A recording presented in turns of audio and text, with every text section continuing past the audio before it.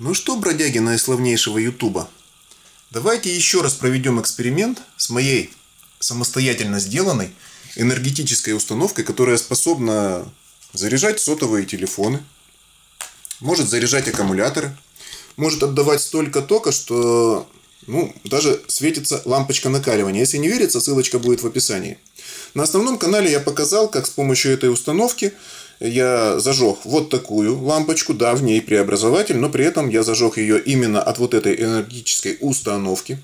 Чтобы показать, что никакие батарейки не спрятаны ни здесь, ни здесь, я сделал специальную устройство такую вот, повышающий образователь и вот такую филаментную лампочку, которую разобрал, чтобы в нее никто не напихал ничего и ничего не заподозрил.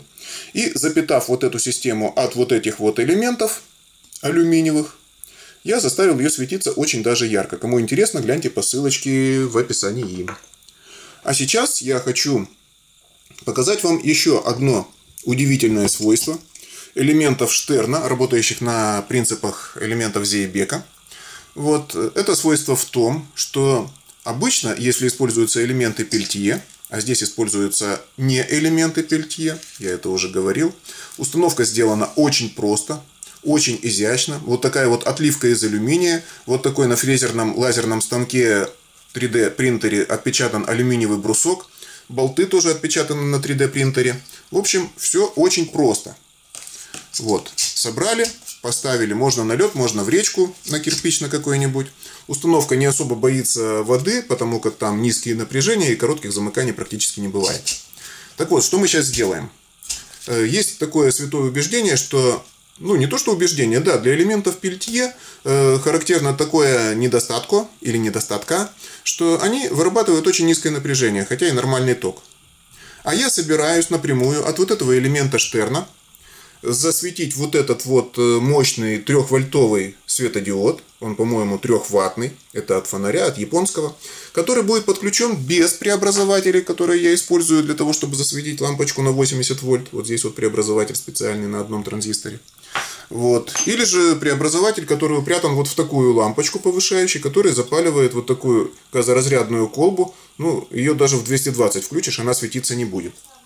Вот, поэтому мы, сейчас попытаемся раскочегарить с помощью старинной таблетки сухого горючего. Да, вот эта такая таблетка называется сухое горючее.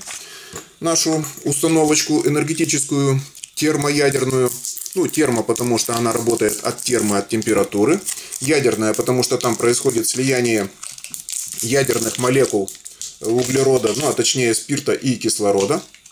И мы посмотрим, что из этого выйдет. Получится ли у меня зажечь без всяких преобразователей трехвольтовый светодиод или нет. Я сам этого не знаю, поэтому это лив, эксклюзив. Что там еще на букву Л? Поджигаем таблеточку сухого горючего.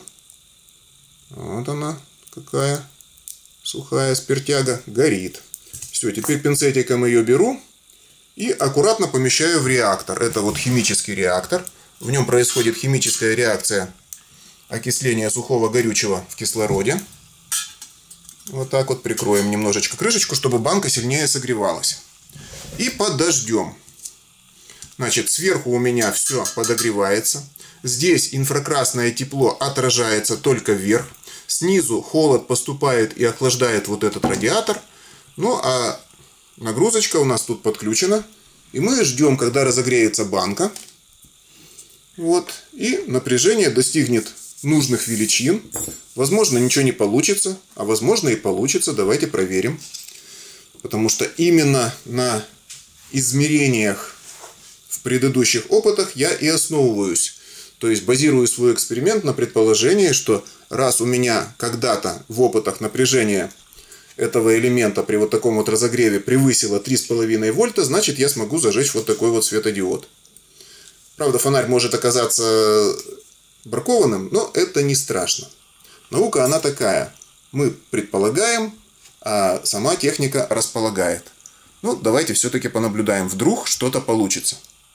Если не получится, то я с помощью преобразователя зажгу для вас э, лампочку филаментную. Но я бы хотел зажечь, конечно, вот такой светодиодик. Пока что признаков жизни он не подает, но это ничего страшного, потому что должно пройти некоторое время, чтобы градиент температур установился стабильным. И вот здесь охлаждающая пластина хорошо контактировала с элементом Штерна. При этом вот этот вот кубик, который я касаюсь пальцем, разогрелся. А он сейчас у меня еще пока что холодный. То есть я его могу держать. Это слишком маленькая разница температур. Надо немножко подождать. Давайте будем делать немножко подождать. И пока он набирает напряжение, можно, наверное, взять и проверить, вот будет эта лампочка сейчас светиться или нет. Тут надо тоже полярность соблюдать. У этой лампочки есть минус вот тут. Не, неправильно показал. Вот тут у нее минус.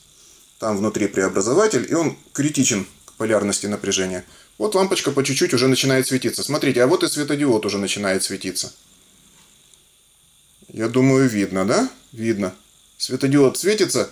Ну, очевидно, это отдача от лампочки, то есть преобразователь лампочки. Хотя нет, смотрите, вот я лампочку отключил, и светодиодик начинает разгораться. Вот-вот-вот температура дошла. Есть, есть, ребята, вот смотрите. Никаких преобразователей. Яркий. Ой, ё-моё. Он реально яркий. Давайте вот так вот пятно посмотрим. Смотрите, светится белый светодиод. Еще не сгорел. Еще не сгорел пока. Вот тушить бы все это дело надо. Ну-ка. Ну-ка, ну-ка, ну-ка. Вон он как сильно горит. Ну вот, мой опыт удался напрямую от элемента Штерна. Яркий. Яркий, вот смотрите, какое пятно света. Яркий светодиод светится без всяких преобразователей. То есть смысл опыта был в том, чтобы никаких преобразователей не использовать. Потому что с преобразователями, пожалуйста, с преобразователями я сделаю это запросто. И любой сделает это запросто с преобразователями, даже на элементах пельтье. Так, вот здесь у меня плюс. Сейчас посмотрим, как вот эта лампочка будет загораться. Давайте вот так вот отодвину, а вот тут у меня минус. Сейчас до минуса доберемся, там уже огонек почти погас. Но температура достаточная, чтобы удерживать энергию ровно настолько, чтобы лампочка светилась. Ну вот, смотрите. Это, конечно, с преобразователем. Это не так интересно. Да, интересно, да, потому что эта лампочка больше и мощнее. Но без преобразователя, по-моему, это удивительно. Если это удивительно мне, то, конечно, хейтерам это вообще не удивительно. Они всегда это видели еще 300 лет тому назад, по-моему, в книжке «Искусство схемотехники» все это прочитали. Или им это Белецкий показал. Вот так вот. Подключаем напрямую, без преобразователей. О, смотрите, братцы. Огонь уже потух, а штука вон как светится.